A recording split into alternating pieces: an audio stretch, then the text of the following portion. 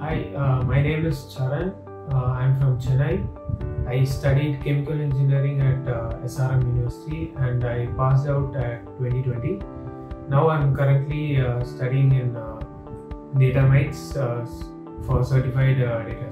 As our current lifestyle is more dependent on data and as there is more data oriented jobs and uh, there's more boom in that area, I was more interested in that and I wanted to pursue my career in data science. Uh, as I was searching for uh, good institutes for uh, learning data science, I was recommended Datamites, so I checked into them, and uh, I was interested uh, in their pro, certificate programs uh, based on IABAC, NASSCOM, IBM, and I was uh, attracted to their internship programs, so that's why I chose data.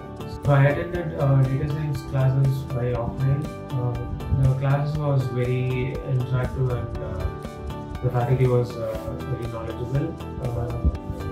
And even if I had any concerns or doubts of subject matters, I was able to contact the management and they were very helpful. And I had a very satisfactory experience with DataMites.